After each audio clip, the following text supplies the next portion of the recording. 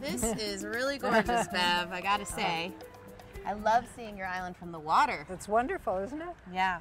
Does it feel like your island now? Does Dominica feel like home? Yes. Do you miss the States at all? Do you miss Minneapolis? How could I miss it? Not today, but yeah. Sometimes I do. Sometimes I miss the snow even. Really? But for short periods. do you get to go back and visit? Yes. your family? Yes, especially my grandchildren.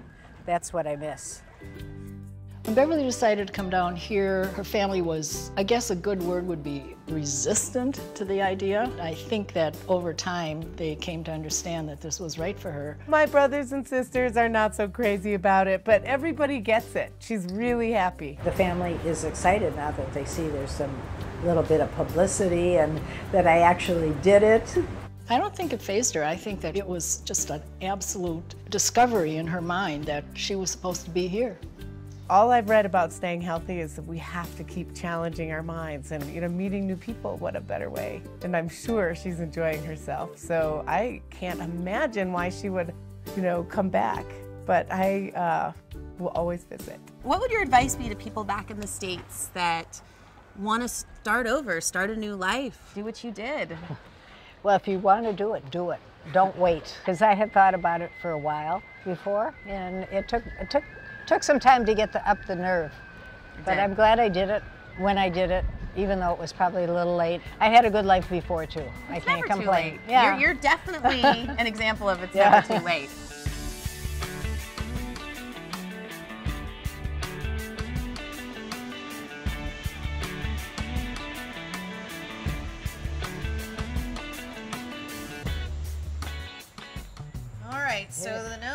Is ready. yes, we I made told you I would try it. but I want to, I think maybe we should get some company at the bar. Oh, yes. Who's ready for some noni juice? Did they warn you? Well, just pour a little bit, and you can always have more. Because people are totally going to want more, right? Oh Bev? yeah. Oscar, I know this is the only way I'm going to get you to drink this because your lady can't get you to drink it. One for you. Beverly's a, a truly fantastic individual. She's uh, very humble, very low key, but uh, quite the uh, philanthropist, really. I what she's done here for Dominica and Rosalie Bay and all of the, the communities in the area. I think Beverly's fantastic, and for Beverly's age, it's amazing her energy that she has. It's probably the noni that Beverly drinks every morning. All right, well, Here's to your health. Bev. Here's to health. Thanks for a, a great trip. Cheers. Cheers, Oscar. Oh, gosh. All right. here Bo- we go. Bottoms up. Oh, jeez. Oh, my God. Oh, oh, God.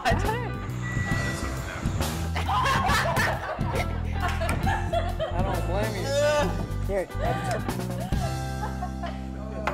Ugh. Yeah, wow. Bev, you don't even taste it anymore, do you? No. Tastes delicious. It's yeah. I think Beverly's an unusual woman and she marches to a different drummer. She cares about the environment and she cares about doing something with her life that's meaningful. Oh, Yeah. look at those little guys. We can put them down and now our our Ooh, you see they're heading towards the lights. Oh, little guys. They can tell they're near the ocean. They like it, oh, Bev. oh yeah. She's a part of something that's growing and thriving and changing, and I think that's really optimal for her growing forward. Just be happy and challenged. I've never known anybody in my life that has evolved into such a strong, independent person as Beverly has. It's an amazing thing for me to see.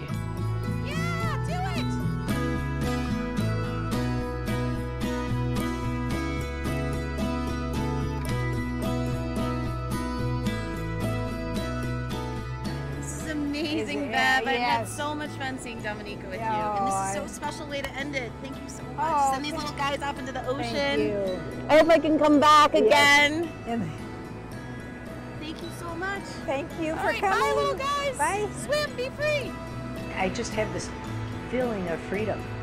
I, I don't know how to explain it. It's just, I don't know if it's the nature, the people, you know, Oscar, the resort. I just, I feel good. I love that my mother's an example of that lifestyle, so my kids will be surrounded by it. We're going to Dominica in just weeks now, and they are so excited.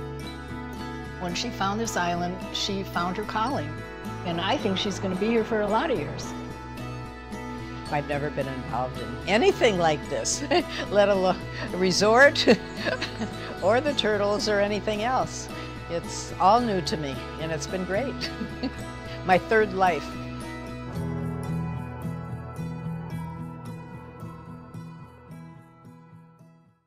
I met somebody who told me about Tulum, packed a little bag, and I fell in love with it instantly. You've built this whole hotel. Was that anything you had experience in No. before you came down here? No, I just kind of did it by instinct. I'm missing that, that fear gene, you know, Yeah. the fear of failure gene. I packed up my apartment and brought all the things down that I thought I might need to start a hotel.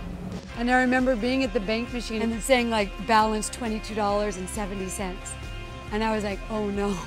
And I just decided, you know what? I'm not gonna let this knock me down. Are you ready to work out with us? This is where the home of Bikini Boot Camp, right? Forward fold. I, I love being able to combine everything that I love to do into my business. I want to know about you guys. Sergio and I met each other like 10 years ago. You finally, the timing worked out. Yeah, the right. timing worked out. And we wound up making a decision to live together and have a child together and share our lives. I'm very happy. Look where we are.